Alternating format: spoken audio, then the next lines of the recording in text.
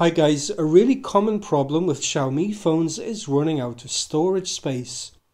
This is my Mi 9 Lite and even though I've deleted almost everything from the phone, I'm still getting messages saying that there's less than 1GB of storage left and Android notifications saying that the storage space is running out. So what's going on? If I go into settings then tap about phone I can see that 63.1 gigabytes out of the phone's 64 gigabytes of storage is being used. If I tap on storage for more information, I can see that I have 2.75 gigabytes taken up by apps and data, just 4 megabytes of images, but over 50 gigabytes that's classified as other.